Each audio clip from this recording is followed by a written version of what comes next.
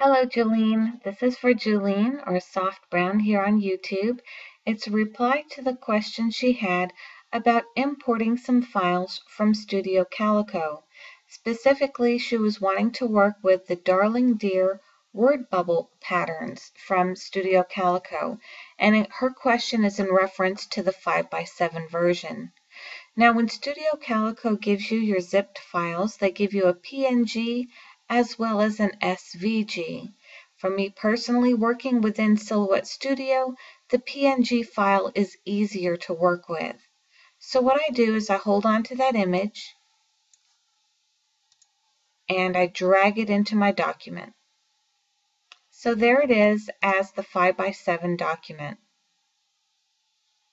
Now you're going to see this low resolution sign come up and that's okay because we're not really working with a file that we're printing. So what we'll do is we'll click on this image and she's wanting to use each one of these speech bubbles individually as well as have the little words cut out. So I'm going to demonstrate how to put this word hey inside of this speech bubble right here. The first thing we'll do is click on the Open the Trace window. Select Trace Area. And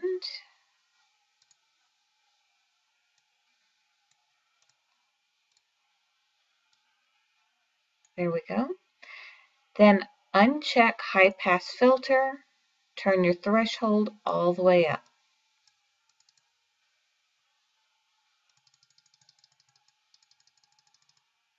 Okay. So then we're going to click the trace feature. The reason why we're clicking trace is because we want to make sure the little insides of these letters are cut out as well. So now we'll grab a hold of the black area, pull it to the side, and delete that image. We don't need it anymore. All of this is one file. We need to release this and separate them from each other. So we say release compound path.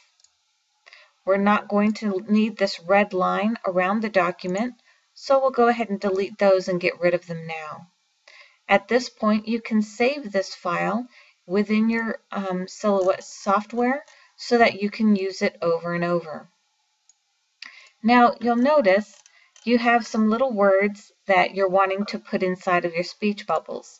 And see, now each one of your speech bubbles are individuals. So say you wanted to just use one. I'll open a new document. So say you wanted to use, at this angle, I think this one will be cuter, one of these. Let's take one of these. So let's hit copy and paste. And then let's go get our little word. Hit copy, hit paste. Now I want to show you something. Since I copied and pasted that, you see it took out the center of my letters. You're probably wanting those centers. So let me show you a better way to do that. Remember, we had to release all of these items to be individual items. So when we did that, it also made these little guys inside of your Y, your E, and your H also individual. So what you'll need to do is just gently glide over all those little sections there and highlight them. Right click and hit group. Now, when you copy,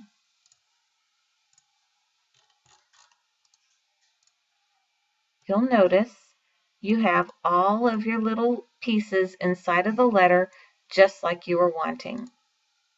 So then we zoom out and we can see this is the size it's going to print just a little bit under two inches, and you can also print your word inside of there.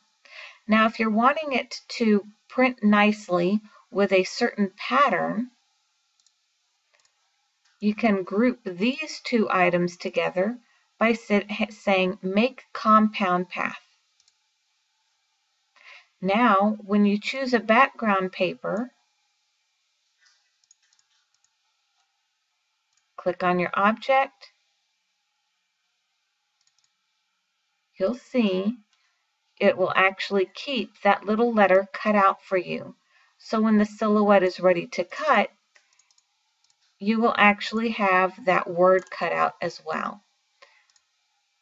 See, when I click on Open the Cut Style window, it shows what areas will be cut and what area will stay.